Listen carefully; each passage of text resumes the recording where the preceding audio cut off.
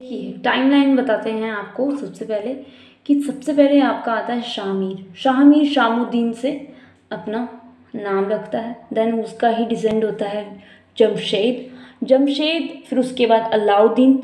उसके बाद हमारा आता है शिहाबुद्दीन। यहाँ देख सकते हैं आप, शिहाबुद्दीन आया। तो उसके बाद शिहाबुद्दीन का ही बेटा कुतुबुद्दीन। तो ये सभी बेटे के बेटे के बेटे। अब कुतुबुद्दीन का ही बेटा सिकंदर। जो तबाही मचा देता है, सिकंदर के ही दो बेटे, एक जैन और एक अली। अली जो होता है वो बड़ा होता है और जो जैन होता है वो छोटा होता है और अली के साथ ही एक और शाही खान। अब अकॉर्डिंगली अली शाह को सबसे पहले अली शाह बनता है, रूलर, फिर जैन अलब्दीन फिर उसके बाद जैन अलब्दीन ही रहता है। Shahi Khan was just protecting the the place of given by the Alisha. After the death of Zain, we have an Adam Khan or Heather. Adam Khan or Heather wasn't both of them brother and they uh, are unpopular rulers in the Kashmir region in the Shahmi dynasty. Then we have an Hassan. Hassan is also for the known for the expedition, failure expedition and after Hassan uh, descend by the Muhammad Shah who was a son of Hassan. And Hassan uh, uh, son Muhammad Shah was very small for the performing the kingship. And he he was an uh, acceptable uh, ruler in the Kashmir in 1484 and the regent of Hassan Baihaqi. Sayyid Hassan Baihaqi he is also same as Hassan uh, unpopular ruler ruler as a regent. Next 40 years muhammad shah was grown up now and his father's uh, brother his father's cousin that is the chacha of muhammad shah that named as the fateh shah keep fighting each other for the throning for the descendant of the Kashmir region इसीलिए Kashmir turmoil में आ जा, आ गया और इस तरह से जो है वो मोहम्मद शाह जो है, वो करता है पहले rule then we have an Fateh Shah Fateh Shah eighty six से नाइन्टी थ्री तक. फिर मोहम्मद शाह आ जाता है नाइन्टी थ्री से लेके फाइव ज़ीरो फाइव तक, है ना? इस तरह से फिर फ़तेह शाह आता है फिर से फिफ्टीन से सेवनटीन तक. फिर फिर से आ जाता है मोहम्मद शाह। इस तरह से इन दोनों के ही आदान प्रदान को ही क्या गया है। ये नेक्स्ट फोर्टी ईयर्स को भी ये फाइटिंग करते रहते हैं आपस में और ये थ्रोन को रन करते हैं। Till the fifteen twenty eight start कब से होता है? फोर्टीन एटी फोर से। ठीक है? अब क्या है? मोहम्मद शाह मरा तो नहीं है बट ज़िंदा है।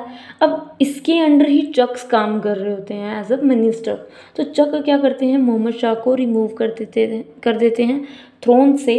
एंड इस तरह से आ, अपना ही मोहम्मद शाह का बेटा कौन है? इब्राहिम। इब्राहिम को गद्दी पे बिठा देते क्योंकि मोहम्मद शाह का बेटा कौन होता है? Ibrahim.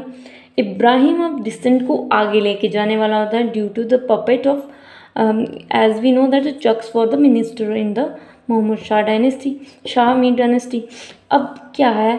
Abdul Magre return from the Delhi and with the Mughal army अब मुगल आर्मी यहाँ पे अपना रोब जमाने लगते हैं कि भाई इब्राहिम को हटाओ और हमारे जो है फ़तेह शाह जो थे, उसके पापा पापा यहाँ पे रूलर थे। अब उनका भी बेटा क्या बनना चाहिए? रूल होना चाहिए। तो नाजुक शाह आ जाता है। नाजुक शाह को क्या बना देते हैं?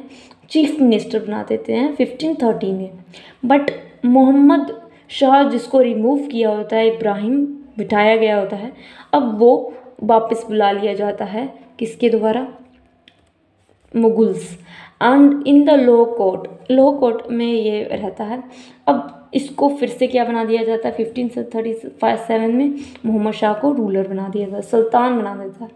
अब ये जो काम कर रहा है सुल्तान को बदलना रिमूव करना नेक्स्ट इसके बाद जो तीन रूलर्स आते हैं, कहते हैं fifteen thirty seven to forty तो ज़्यादा टाइम पीरियड नहीं है but at the same time इनका जो पीरियड है, वो भी मेंशन करना है हमने।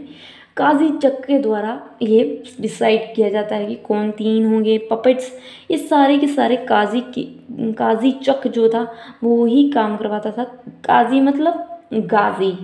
काजी और Kazi we can understand that is means print now we are talking about fifteen forty से हैदर अब क्या बन जाता है रिजेंट रिजेंट क्योंकि अब तीन किंग्स हैं, इनमें से ही कोई एक बेटा है जो रिजेंट का काम करता है। रीजन मतलब कि जो अभी छोटा है रूल नहीं कर सकता।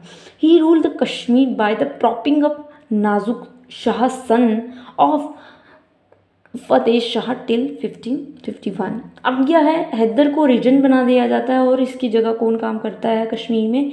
नाजुक शाह नाजुक शाह कौन है? फतेह शाह का बेटा। अब ये फतेह शाह कौन है? अब ये भी हमें बताना चाहिए मोहम्मद शाह का पापा का कज़न पापा का कज़न जो है, वो हमें पता होना चाहिए। इस तरह से इनकी जो प्रॉपिंग अप है फिफ्टीन फिफ्टी वन तक इनकी चलती रहती है नाजुक शाह की।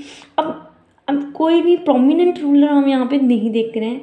जो भी है, वो रीजनल रूलर ही है, ना ही पॉपुलर है। और इनने, अब हमें पता है कि जो मोहम्मद शाह है, उसका बेटा कौन है? इब्राहिम। तो उसको ही डिसेंट में लिया गया है। बल हल हालाँकि जो फ़तेह शाह है फ़तेह शाह का सन भी चाहता है कि उसको मिनिस्ट्री मिले। एज अ हैदर उसने क्या उसको रूल किया है कश्मीर में? बट जो रूलर है, वो वहाँ का जो रूलिंग पार्टर है, वो तो डिसेंड ही करेगा।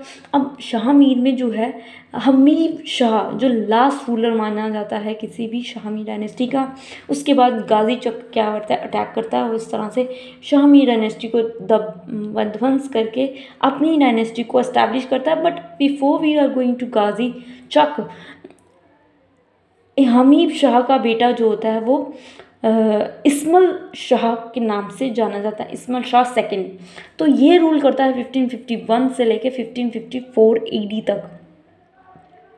उसके बाद इसका ही जो बेटा है, वो ही मतलब कहता है। एंड इस तरह से जो शाहमीरी डायनेस्टी है, वो बहुत सारे किंग्स आए, गए और बहुत सारे हमने इसमें पढ़े भी। बहुत सारे अनपॉपुलर निकले हैं, कुछ क्रूअल निकले हैं, कुछ काम करते ही नहीं थे। एंड मोस्ट इम्पॉर्टेंटली दैट इसमें जो दो रूलर्स हैं उसको हमने गुड़ खा के पानी में घोल के पी लेना that is a Shahi Shihab Uddin और दूसरा है जैन उल अब्दीन। अब ये दोनों को उपाधियाँ दी गई हैं, एक को बुद्धशाह और एक Lalit Aditya. Zain Shah was considered as a Akbar and same as the Shihabuddin was then considered as a Lalit Aditya of medieval Kashmir. Sikandar को कहा गया है औरंगज़ेब क्योंकि वो क्रूअल क्रुएलिटी की हद पार कर दी थी उसने और अब यहाँ पे क्या है, गाजी चक जो है उसके अंडर काम कर रहे थे। अब उनको अंडर में पसंद नहीं था। अंडर काम करना पसंद नहीं था। Hamid Shah was an not a big ruler and big name and prominent ruler that time in 1551 से लेकर 55 तक जो है हमीद शाह के बेटे इस्माइल खान शाह की जो किंग किंग थे, उसके अंडर जो गाजी चक थे वो काम कर रहे थे। पर गाजी चक ने क्या किया? अब अब यहाँ पे बात आती है, इनके जो एडमिनिस्ट्रेटिव थे, एक का नाम था अलीचक और दूसरे का नाम था गाजी चक अली चक जो था, वो बड़ा भाई था गाजी चक का। अब Ghazi Chak was an good ruler and वो चाहता था कि हमारी डायनेस्टी हो तो अली चक क्या करता है? जो है, हबीब शाह, जो सुल्तान होता है कश्मीर का लास्ट रूलर है, उसका क्राउन हटा के और वो क्या करता है, अपनी भाई गाजी को वहाँ पे रूलिंग करने के लिए भेज देता है। इट मीन्स कि वहाँ पे चढ़ाई करता है और कॉन्क्योर कर लेता है और इस तरह से neighbouring countries neighbouring countries it means कि एरियाज़ गिलगिट स्कार्दू पखाली किश्तवाड़ और वो रूल करता है। कौन? गाजी चक के नाम से। अब अली अली चक जो है, वो अपने भाई को बिठाता है गद्दी पे। अब गद्दी पे बैठेगा गाजी चक तो वो कितने तक रूल करेगा? 1563 तक। इट मीन्स कि 55 से लेकर 63 तक जो है रूलिंग पार्टी होगी गाजी चक। अब यहाँ से गाजी चक से ही शुरू होती है you know Chak dynasty who was an Chak was a man come from the Hunza region, Gilgit Hunza region. We will talk in another video that will be soon happen. Thank you.